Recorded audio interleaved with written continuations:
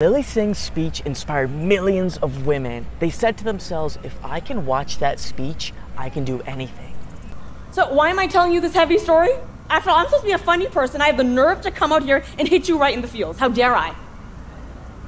Her speech is right out of the book. It is just the wrong book.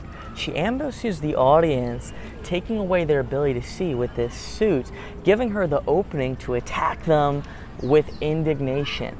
Now, there's a really important thing that she says here in between her pterodactyl mating calls. So why am I, t- after all, I'm supposed to be She is saying that, how dare I, how dare I not entertain you, as if the audience owes her something and she owes them nothing. That's not true. It does not matter that her feelings were hurt when she was two years old. When you are giving a speech, there's dozens, four, hundreds, whatever it is, of people giving their full attention, and all of them are just as important as the speaker. So they're giving you a gift, and in this situation, they're actually paying for it. So, yes, they're paying for a service, they're paying to get value. So, maybe she could claim that was a joke or that you know she's repressed so she does deserve this attention but that is not the attitude you want to have when you're speaking.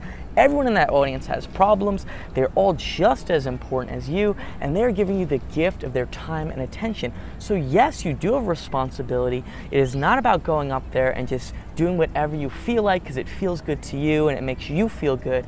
It is about going up there and giving them your best giving value